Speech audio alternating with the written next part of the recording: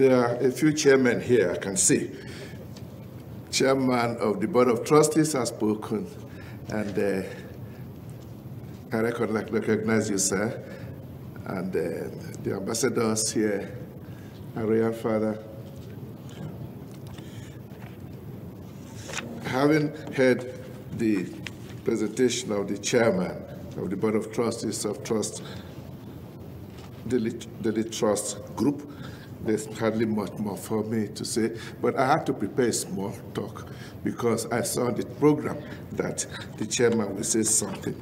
Much of the talking will be done first by the by the um, the um, video clips. We are going to hear from the the major four of four frontline presidential candidates, and then the very highly um, competent panel of uh, discussants that we shall listen to later.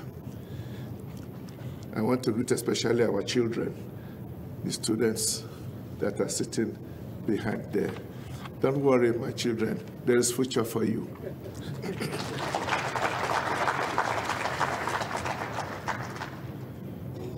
Oh, may I please remark that, uh, Mr. Chairman, I have not retired from the Catholic Church.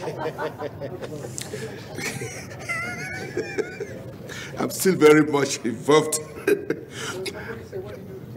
uh, retired, I'm retired, I retired as Archbishop of Abuja, which means I'm no longer responsible now for the affairs of the Catholic Church in Abuja Archdiocese. But I am still an Archbishop and I'm even a Cardinal and as a cardinal, I'm still involved in the affairs of the Catholic Church on the world level, which takes me to Rome every now and again.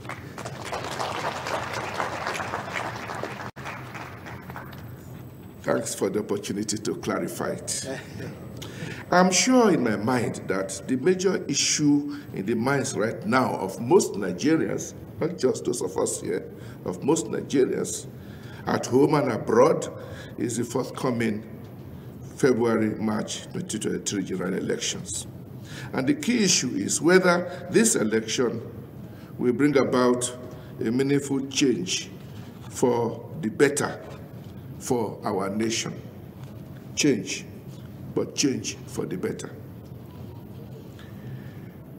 A relatively small group of professional political elite have been running the affairs of the nation, mainly freely between two major political parties with no specific ideological identity, but mainly structures for capturing power for rather selfish personal and group interests. If things are to change for the better, it cannot be business as usual. There is need for a drastic change of orientation, especially in the concept and practice of political power, characterized by politics as sincere and honest service of the common good and not as ways and means of capturing power for self interest.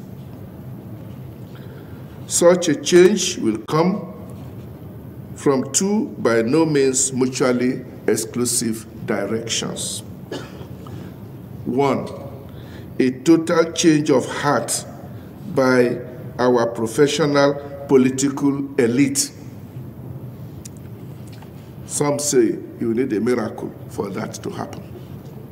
But as a man of God, I believe in miracles. And I'm praying that it will happen.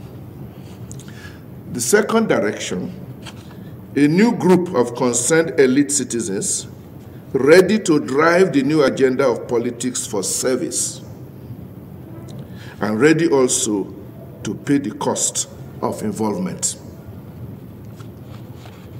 Will the forthcoming elections bring this about? That is the question to interrogate.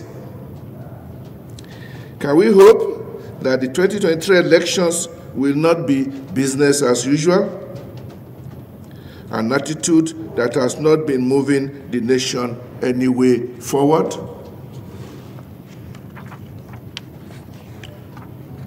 Truly free, fair, and credible elections, that is the only way from which will emerge at all levels of government men and women ready to serve the nation with dedication, sincerity, honesty, and integrity. We are witnessing a great change already in the heightened number of citizens now interested in the election. INEC is talking of almost 100 million registered voters, more than in previous elections. This is a clear and positive sign that many Nigerians have abandoned our traditional widespread voter apathy, trusting that involvement in election will no longer be a waste of time for the ordinary citizens. Can we expect these millions of new voters to insist on a free and fair election and reject and refuse to settle for any rigged elections and do that peacefully, without violence, but with determination? Let our usual professional riggers across all parties, both within and outside of government, be put on strong notice that this time around it will not be business as usual. This is not a threat. Rather, it is a sincere warning. And let those who have ears please listen. Thank you very much.